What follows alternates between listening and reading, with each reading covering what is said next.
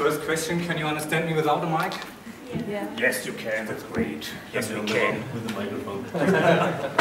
So, um, maybe as I see in many, many young faces, I have one question to you before. Um, who's professional in internal communication and who's student? Just give me a sign. Who is professional in internal communication? Who is student? Ah, okay, good to know. It's good to know for me because I have here some slides with some studies and so I try to uh, go with you uh, into the topic um, together because this question isn't that easy. Um, what we did is at our university to um, do some polls, some studies with companies, with PR agencies to ask, hey guys, what is the impact of social media within change processes? Yeah, the impact of social media in change processes. That was our question. And um, well, another question to you, who already managed or experienced change processes in companies? Who managed or experienced change processes? Oh, okay, that's a minority. So, okay, good to know. Um, I try to find out for you what is the um, very challenge of change processes. Because um, the time of change is a very challenging time for internal communication. We heard at the very beginning from, from Steve that we have many, many, many um, yeah, perspectives to analyze the use of internal communication. And the time of change is, to us, a very, very interesting time because we can really uh, contribute an added value to the company. As we, a company, change processes with the idea to decrease resistance and to increase identification, for example. And that's why change processes are a very interesting time for us, for us as internal communication managers. And we asked uh, 70 experts in Germany from corporate communication departments, from PR agencies, hey, what do you think is the added value of social media and in general speaking with technical linked instruments of communication because honestly speaking we hardly don't know what is social media. Social media is anything and nothing. And that's our problem with the study here. You see this is quite new, it's from last year. We polled 1,500 organizations and answering organizations 70. You can see um, the efforts we did to get any information on this. So we get a, a, lot of information on that, what is social media. You know all these tools and um, platforms and instruments, and I think we can transform them completely to communication. You have blogs, you have wikis, you have anything you like with the companies, but the question is, do you use them, and how you use them in change processes? And so we did two steps to find out what we want to find out. The first thing was, hey company, are you close to technology-based manner of communication? Are you close to it or are you far away? That was our first step in to find out, you like to work with internet, with email? Um, you may think, hey, that's a crazy question, but it's not really standard. Yeah? Forget about all the books they said, hey, you can use these instruments. Yes, it's true, but the question is, do you really use them or not within companies? And you will see what happens um, when, when, I uh, when I present you the, uh, the slides to this. The second question was then, do you accept, do you accept the tools of social media? You as a manager, do you like dialogue?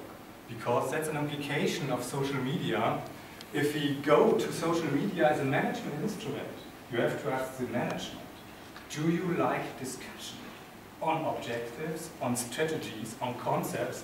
You know all the um, methods you um, get in, the, in this first session, it's a management circle. Yeah? If you like to go into discussions, that's fine. But is it the standard of management today? Good question. So first point, technical affinity. Do the companies uh, think they are close to technical communication processes instruments?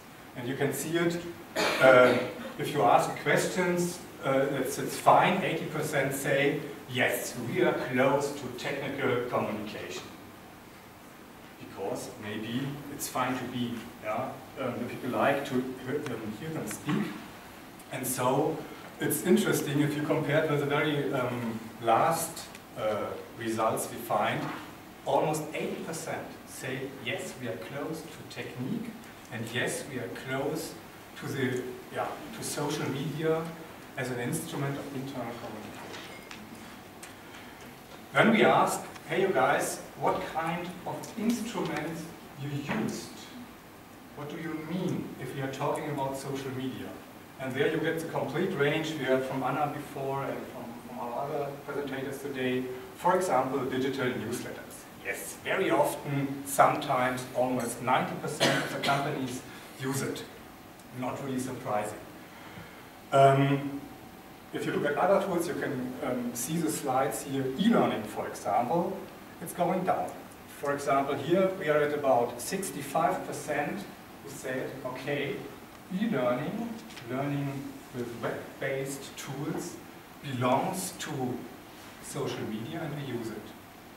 But if you look back to that, what social media may provide to an, to an organization, it could be identification by enhancing dialogue. And now we are going to a dialogue instrument like wikis, for example. Wikis are not just lexicon or something like this. Wikis may be collaborative working tools so that you can work out in a team with discussion, concept, or anything like this. And if you look at this instrument, we are going down to 37% who really use wikis within change processes. That means the 80% of the very beginning who said, yes, we are close to technical information and communication are now breaking down to 30%. That's very interesting because now we have the first hints that social media as a management instrument isn't that accepted as it might So, interesting thing. What does it mean, first insights? Yes, we have a broadly range, a broad range of instruments that we use. That's true.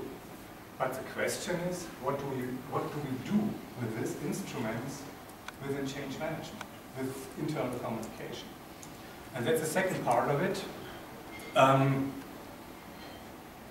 before I go to the second part, I want to show you how the cooperation is inside company between communication, personal, and the IT unit. Because there is no internal communication with social media without the IT department, because you can't work on your own. So we ask you now, hey, what's your relationship, your internal relationship between internal communication and the IT unit. And that was really interesting. And I skipped some slides now because I think I'm running out of time. Just give me a hint. Um, that's a very cheeky question, a very cheeky question. If We, asked um, the organizations, what do you think? Is your IT team a deprofessionalizing unit within change processes or not? a deprofessionalizing unit. And look at the answers. About one third said, yes, that's true. Our cooperation internally is not really that good. And to me, I think that's reality. You know, it's just 70, 70 organizations, it's not representative of any, right? It's a very in, uh, interesting uh, um, yeah, slide. And my experience in all these change processes is, yes, we do a lot of communication, but sometimes it's not really meant like this. It's more a symbol of anything like this, but not really supporting management. So, and that's what I said before, even though that 80% of the Pole com uh, companies claimed to be affine to technology, um, there's about one third who says, hey, we can't really work together with our IT unit because they don't really understand what we're doing. Very interesting. So, second step now is, does management accept social media as a social management tool? As a management tool that supports me during change processes. So what do you think? Do they accept it or do they do, or don't they accept it? Who thinks yes they accept social media as a management tool? Exception of social media? Give me sign. Who accept it? Who doesn't accept? And the rest doesn't know. Hello guys. Okay, let's see. So, um, what we can do with the next slides here is um, to compare the acceptance between employees and management on the one hand, and on the other hand, very high or high, or low or rejective. And you will see that there are many, many slides who say there's about one third who are rejective or don't accept really voting tools, for example. Acceptance of voting tools, for example, low or rejective, it's about one third here on the right side. It's not really surprising to me because it's the next step you heard from the first point. It's the same with internet discussion, it's the same almost always with wikis, but you see the resistance rises. Now we're at about 50% of rejection. So, social media within companies, within change management, isn't that far as it could be. The other way around is there's a lot of potential for us. For us as internal manager of communication, um, there's a very, very range, wide range of opportunities we can use. If we um, summarize this, what we heard before, there are about 20% who said um, well, we, were, we did dialogue with management before without social media. Um, there are about 45% in the first line who said, yes, social media improved our change management. But there's about one third who said, oh guys, yes, we implemented social media, but there's no progress within change management.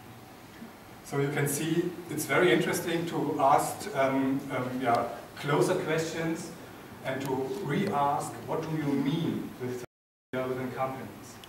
And um, the conclusion is here, um, we have a lot of tools we use, okay, that's true, but we have to change the culture. That's the same we heard before from Pascal, we have to change the management culture to use the efficiency of social media with an internal communication. That's all, thank you.